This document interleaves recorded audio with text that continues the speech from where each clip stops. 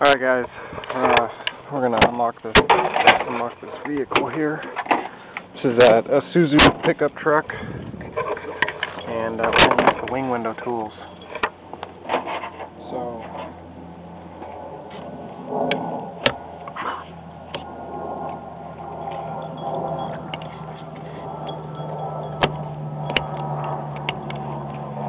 so I'm gonna use this fashion butter knife here to push on the button